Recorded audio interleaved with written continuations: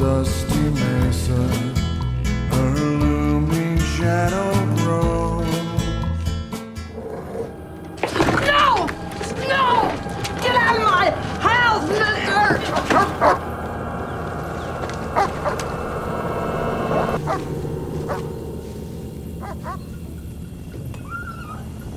Marty, clear the house!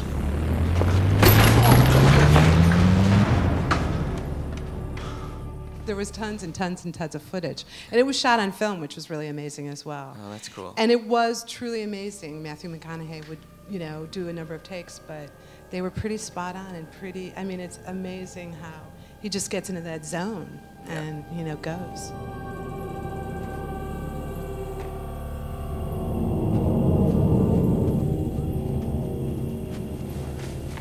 Don't move.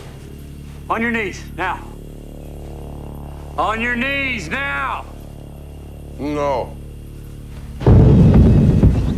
The thing that was interesting was, you know, especially in eight, it kind of stops going back in time. There's the cross-cutting is becomes more and more minimal. Mm-hmm. So there was a playing with structure because you know we were saying, okay, well maybe eight is not going to be, although there is a little bit of going back in time. We were, you know, it was just pretty much straight ahead. So we did play with structure in both seven and eight, and I'm sure with the other episodes as well, constantly. You know, moving things around. Yeah. And again, you do that often in film. You know, you do this thing where you're constantly restructuring, but in television you might do a little bit, but not Right. too too much. But it was a constant thing. I mean, I think Cary Cary never even referred to the show as being a television show. He's always the film, just you know, eight part film. Everybody, here's a phone. Where's yours? He's gonna come for you. He's worse than anybody.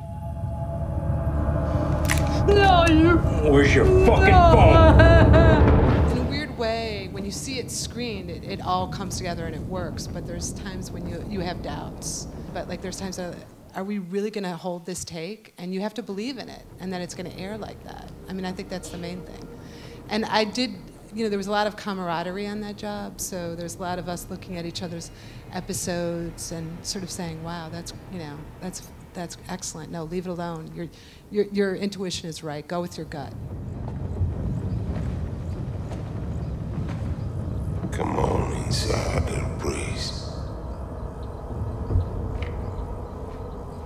That wide shot at the end always kills me Yeah. because I just I think it was one of the first shots that I saw when I started editing the show and I was like, "Oh my lord." Yeah. That is so amazingly beautiful.